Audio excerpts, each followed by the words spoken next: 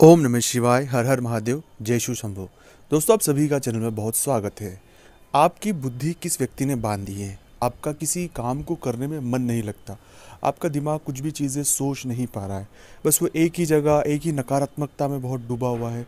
उसे बहुत डर लग रहा है, उसे बहुत भय लग रहा है। मन किसी भी काम को करने में बिल्कुल भी नहीं लग रहा है। हम थोड़ा तो कोशिश कर रहे हैं। एकदम हम शून्य हो चुके हैं, जो चीज़ें बहुत बेहतर लगती थी, अब वो ख़राब लगने लगी है। ऐसा लगता है कि किसी चीज़ से हमारा मन उठ गया है। कुछ नकारात्मक, कुछ बुरा हमारे दिमाग में चल रहा है। तो बुद्धि अगर किसी व्यक्ति ने बाँध दी है या हमारी बुद्धि जब काम नहीं कर रही है, हम जो निर्णय ले रहे हैं वो निर्णय सही नहीं हो रहे हैं, हम गलत डिसीजनों की ओर जा रहे हैं, हम गलत तरीकों की तरफ़ जा रहे हैं, हमारा जीवन पूरी तरह से गलत ट्रैक पे जा चुका है।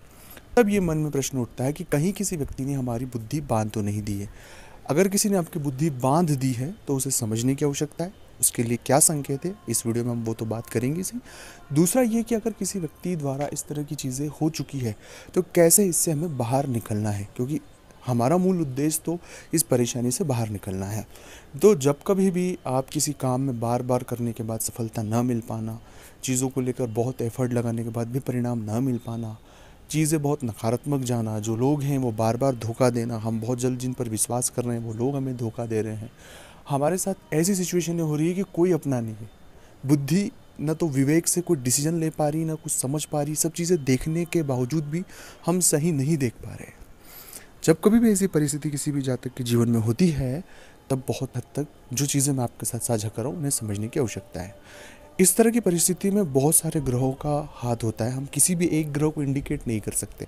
खासकर मन की स्थिति के लिए चंद्र, वो घटता बढ़ता है। अगर आपकी कुंडली में चंद्र बहुत ही ज़्यादा डाउन में है तो उस वजह से ये मन की स्थिति बार बार होती है। कई बार शनि, राहु और शुक्र की जो नकारात्मक युति अगर हो जाती है तो उस वजह से भी इस तरह की जो परिणाम हमारे जीवन में दिखाई देते हैं।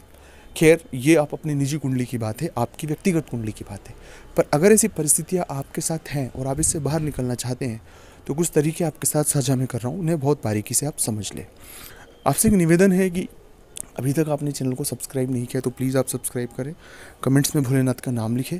अगर आप चाहते हैं अपनी कुंडली का विश्लेषण हमसे करवाना मतलब इस तरह की स्थिति अगर आपके साथ है तो आप एक बार हमसे कंसल्ट भी कर सकते हो। उसका फ़ीस और शुल्क लागू है दोस्तों, जो आप, हमसे आपकी मदद हो पाएगी, ज़रूर आपकी करेंगे। ऐसी परिस्थिति है तो आपको दो चार चीज़ों पर फोकस करना है। सबसे पहली बात है, दो से तीन घंटे आपको मौन रहना, मौन व्रत शुरू करना होगा। मौन व्रत करने का तरीका ऐसा है कि आप अपने शांत होकर अपने गुरु मंत्र का जप करें। नहीं ये गुरु मंत्र तो नमः शिवाय नमः शिवाय नमः शिवाय का मन में जाप करें और पूरा ध्यान अपने नमः शिवाय के जप पर होना चाहिए। इस तरह की परिस्थिति जब आप सात दिन तक करेंगे तो आठवें दिन से आपको बहुत सारी चीज़ें खुद को स्वतः ही समझ आएगी। तीसरा, दूसरा प्रयोग आपको ये करना है कि आप बजरंग बाण का पाठ करें, क्योंकि कहीं ना कहीं हमारे इर्द गिर्द एक नकारात्मक ऊर्जा हमने खुद ने क्रिएट करके रखी है।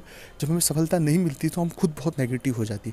हम खुद एक एनर्जी का हब है तो नेगेटिव एनर्जी अगर हम प्रोड्यूस करेंगे तो इर्द गिर्द हमारे ही होगी। इसलिए जितना हो सके बजरंग बाण का पाठ करें, सुबह दो बार करें, शाम को दो बार करें, उससे बहुत फ़ायदा होगा। और तीसरा और सबसे महत्वपूर्ण है कि जितने हो सके पेड़ लगाने की कोशिश करें। आप प्रण ले लें कि मैं पाँच पेड़ लगाऊँगा दस पेड़ लगाऊँगा सौ पेड़ लगाऊँगा तो आप जितने पेड़ लगाने का प्रण करेंगे और उन्हें लगाने की कोशिश करेंगे, उससे भी आपको बहुत इम्पैक्ट मिलेगा। चौथा प्रयोग यह भी महत्वपूर्ण है कि जो दिव्यांग है, या उनका आश्रम हो, या कोई दिव्यांग व्यक्ति हो, उनकी आप मदद करें। और रही बात बुद्धि, आपकी कोई व्यक्ति बुद्धि नहीं बाँध सकती हम केवल हमारी परेशानियों में बहुत उलझ जाते हैं।